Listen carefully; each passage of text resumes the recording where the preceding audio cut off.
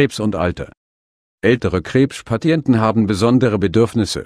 Was sie in der Therapie brauchen und wie Angehörige helfen können erklärt O'Neill. Professor Dr. Kornig. Expertin dieses Videos ist Professorin Dr. Gabriela Kornig.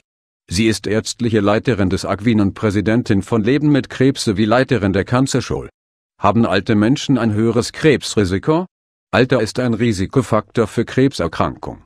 Durch die zusehends höhere Lebenserwartung sind daher auch zusehends mehr Menschen von Krebs betroffen. Würden alle Männer 100 Jahre alt werden, würde auch alle an Prostatakrebs erkranken.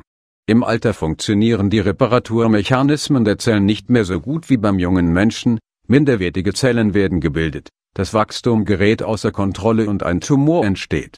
Früher, als die Lebenserwartung kleiner war, haben die Menschen eine eventuelle Krebserkrankung einfach nicht erlebt. Was bedeutet das biologische Alter?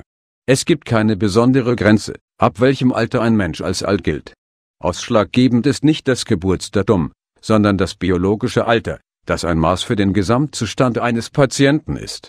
Sowohl die Mobilität, ob jemand in der Lage ist zu gehen oder im Rollstuhl sitzt, als auch Laborwerte zur Leber- und Nierenfunktion, sowie Medikamenteneinnahme gehen in dieses Bild ein. Gemeinsam beschreiben all diese Faktoren das biologische Alter eines Patienten. Haben ältere Patienten mehr Nebenwirkungen? Generell haben ältere Menschen nicht mehr Nebenwirkungen und tolerieren die Chemotherapie gut. Sie klagen nicht häufiger über Übelkeit oder haben keinen stärkeren Haarausfall.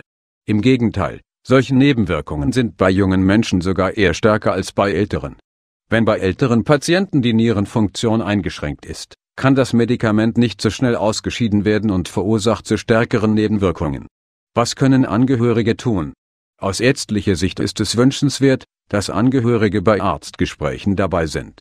Vier Ohren hören mehr als zwei. Wichtig dabei ist allerdings, dass die Angehörigen keinen Informationsvorsprung haben und über den Kopf des Patienten hinweg Entscheidungen treffen. Es gibt sehr viele alte Menschen, die ihre Therapie selbstbestimmt und eigenständig angehen.